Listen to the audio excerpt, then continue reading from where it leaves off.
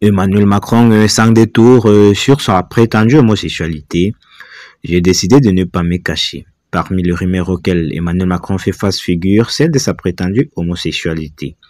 Voici ce que le président de la République en pense.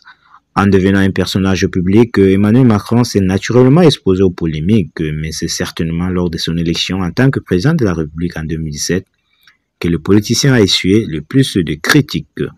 Le mari de Brigitte Macron n'a en effet pas étranger au ragot et l'un d'eux s'est avéré être particulièrement tenace. Il s'agit ni de plus ni moins de sa prétendue homosexualité. À l'époque, il s'est murmuré en effet qu'Emmanuel Macron entretenait une liaison avec Mathieu Galette, l'ancien PDG de Radio France. L'année de son élection, Emmanuel Macron avait donc décidé de frapper fort en revenant sur cette rumeur autour de sa sexualité.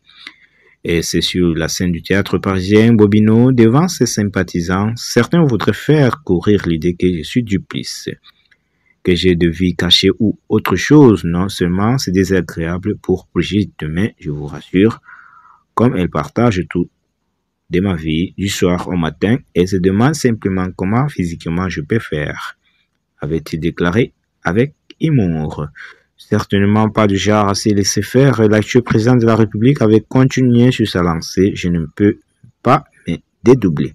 Si dans le dîner en ville, on vous dit que j'ai une double vie avec Mathieu et Galette, c'est mon hologramme qui m'a échappé. Ça ne peut pas être moi.